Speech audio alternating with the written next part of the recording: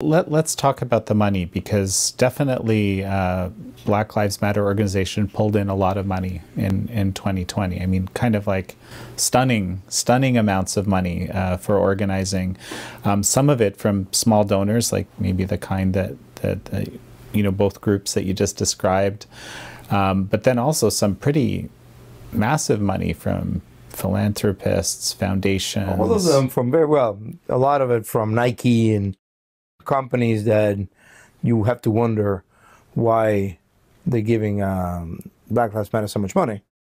But but also a lot of it's from foundations, philanthropic foundations, that have been supporting leftist causes for a long time. And and just to be clear, there's there's kind of an it's not always direct, right? This the way this money flows, it's kind of an op, a bit opaque. Well, it's, inc- it's incredibly opaque. You give your money to to ActBlue, which then takes a cut and gives the money to, for example, the Tides Center, Tides Foundation, mm-hmm. which is a financial sponsor of BLM GNF. Mm. So, so ActBlue is one layer. Then the money goes to to to to, to Tides Center, and and and BLM GNF has no need, no no legal need to be transparent with what it does with the money. Or or you have Warren Buffett's family, his son uh, uh, Peter, or the Soros family, his son Alexander. Um, or you have the Alliance for Global Justice, which was actually started by people who were in Nicaragua. And so they need to say, no, go back to your country and change your country. And sure enough, they have. But they're attempting to. These are all long-time supporters of the left. And so you you do mention in in the book that uh, a lot of these big donors, you know, clearly the the money was raised very much through capitalist means. It's money that comes from uh, uh, you know capitalism being employed, but being used to effectively subvert capitalism as, as a goal.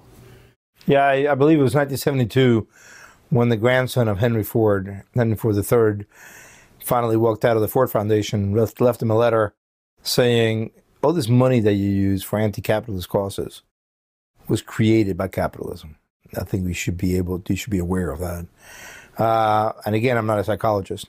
I don't really understand what motivates somebody who's made money in a for-profit company.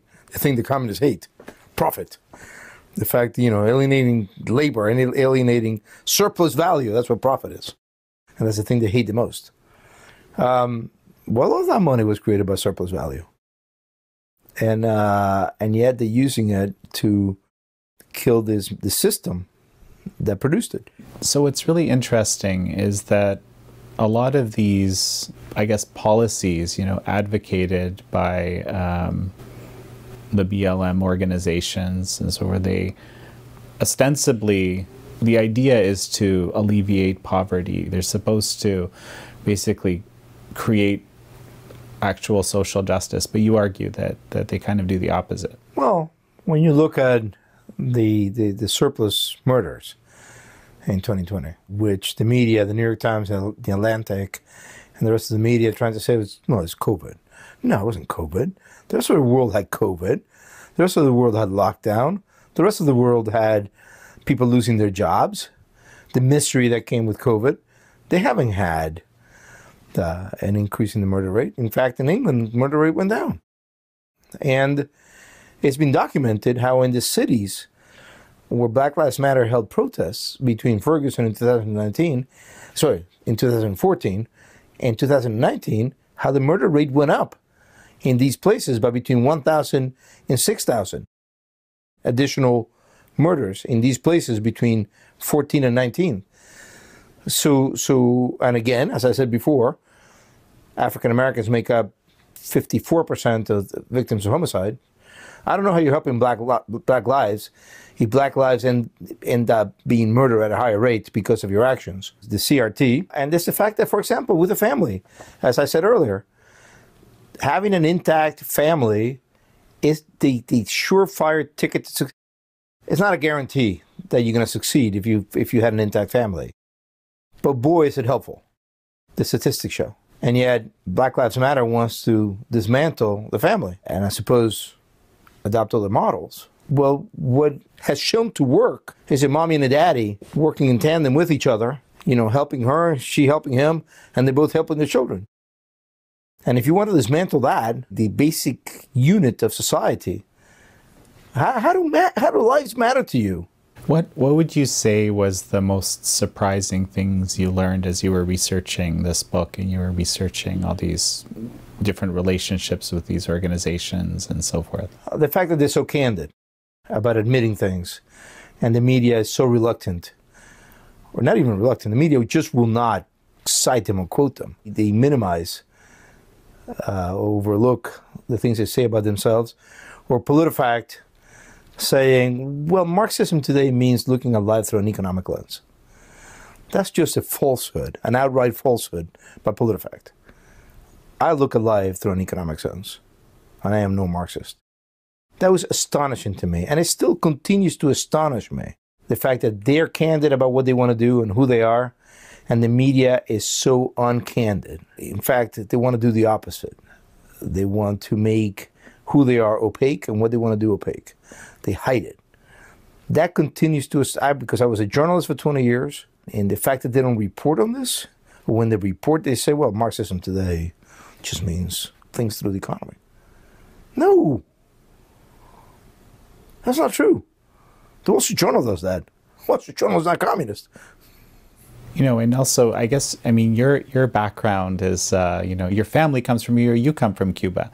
I was right? born in Cuba, and I lived in Cuba for the first twelve years of my life. I have a firsthand experience with with communism. I also have a firsthand experience with, with fascism. We moved to Francisco Franco, Spain, where I lived, where I experienced a kind of a fascism light. You know, Franco in his waning years, the oppression was there, but it, it was it was not freedom. And then I, I experienced freedom in this country at the age of 14. And I fell in love with America ever since.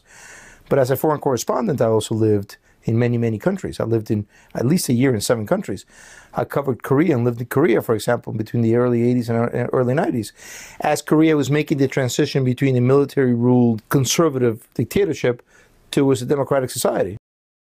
So I've seen, I've been around the clock, I've been, I've been around the block a couple times, and I've been able to contrast and compare. And that has aided me greatly in, in my analyzing our lives here. Well, and so, you know, we have, I don't know, numerous people who have lived in these communist systems basically saying, like, for example, there's, there's people I, I know who are saying that you, you see elements of the Cultural Revolution even right. in what we're seeing today right? Which you know, and other people say, "Oh, how how could you possibly say that? So many people died." You know. Yeah, very much so. I mean, the fact that I covered China helped me a great deal. The fact that I covered, I lived in Hong Kong for eight years. I got to read up a lot, study the Cultural Revolution, the struggle sessions. I think that was a great aid in my being able to recognize the the anti-racism trainings that our corporations are going through now, uh, which are very racist in themselves, as a form or, or a descendant of the same common ancestor of the, the struggle sessions that Mao had in, in, in China. And so, and so how is, you know, anti-racism training racist? Well, I mean, when Ibram Kendi, the most famous anti-racist, says we need to have discrimination now, we have to discrimination in the future and forever, he means racial discrimination. That's racist. When you separate kids according to affinity groups, by the way, let's understand what affinity means. It means race or national or, or, or national origin or sex. That is racist, disgusting, and illegal. That's that's not allowed by Title VI of, of the Civil Rights Act. That that or, or to say to a white child, by your very nature, you perpetuate systemic racism. But to say to a black child, you know, reading and writing, love of literacy, punctuality, sitting in your desk, uh, and learning, these are white things. This is this is you should not culturally appropriate these these. That's untrue.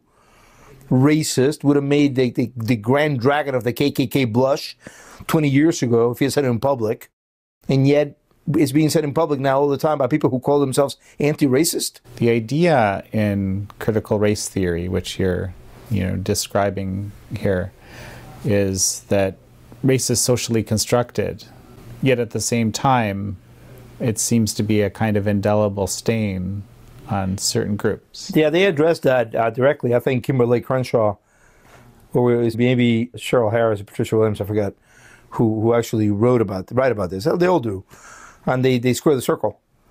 They say, yeah, it's true that it's socially constructed, and yet it has an impact. This is when when they start walking away from postmodernists, because they say the postmodernists just mean just nothing is real, and we can deconstruct everything, and race is a construction an artificial construction, and yet it matters greatly. It's the end all of everything. It's the alpha and the omega of life. So they themselves, every time somebody sells you a contradiction and tries to say it's it's it's it's not either or, but it's this and that, and they're both opposites, you your your cognitive system should experience system shutdown.